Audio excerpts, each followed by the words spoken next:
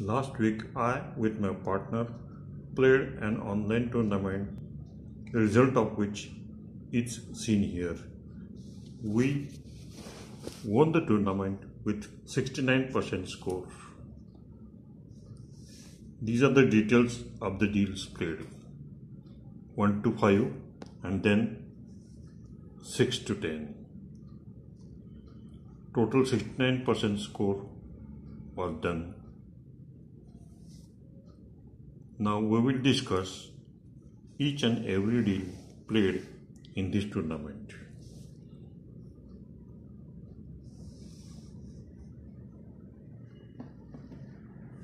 So this is the first deal in which we were west and east.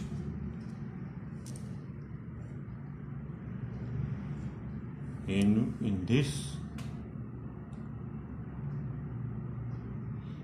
the opponents played four spade which was two down and we score 100